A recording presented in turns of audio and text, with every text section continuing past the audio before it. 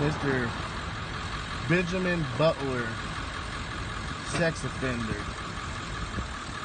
Come close to my guy.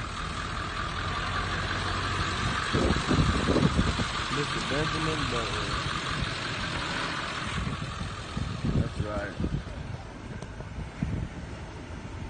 That's a sex offender.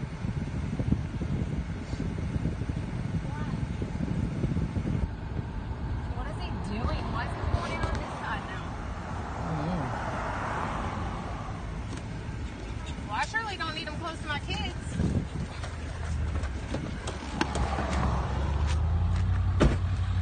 What's up, bud? You got an issue? Okay. Yeah, well, pulling over using my phone. I talked to that because I don't like you close to my kids. You're a sex offender. Get your ass out of here. Go ahead. I'm calling the mayor. You ain't even supposed to be here right now. Got you on film. There's nobody at the park. You're right here after hours. Bye. Adios.